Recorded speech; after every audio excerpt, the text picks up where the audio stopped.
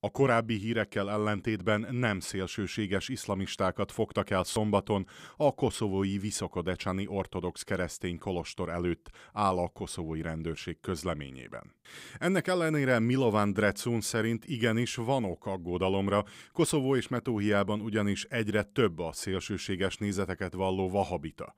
A szerbiai Koszovóval megbízott parlamenti bizottság elnöke úgy véli, hogy ezek a személyek komolyan veszélyeztetik a más vallás vallásgyakorlókat, így az ott élő szerbeket is. A hatóságoknak a nemzetközi szervekkel kell együttműködniük a szélsőséges támadások megelőzése érdekében. Györgye Milicevic, a tartományi parlament haladó párti képviselője nem ennyire borulátó. Szerinte ugyanis Szerbia felkészült az esetleges terrortámadásokra és képes megvédeni népét. Szerbiát nem fenyegeti közvetlen terrorveszély, így reagált néhány nappal ezelőtt Nebojsa Stefanovics belügyminiszter az Europol figyelmeztetésére, miszerint az iszlám állam újabb támadásokat tervez Európában.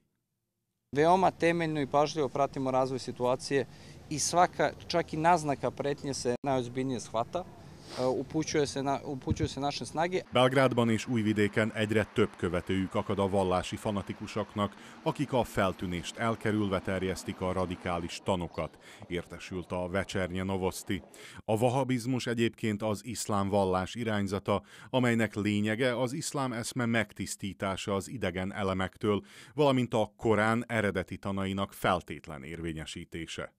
A vahabiták az esetek többségében humanitárius szervezetek tagjainak álcázzák magukat, és főként a szegényebb sorsú muszlim vallású romákat próbálják beszervezni, írja a lap.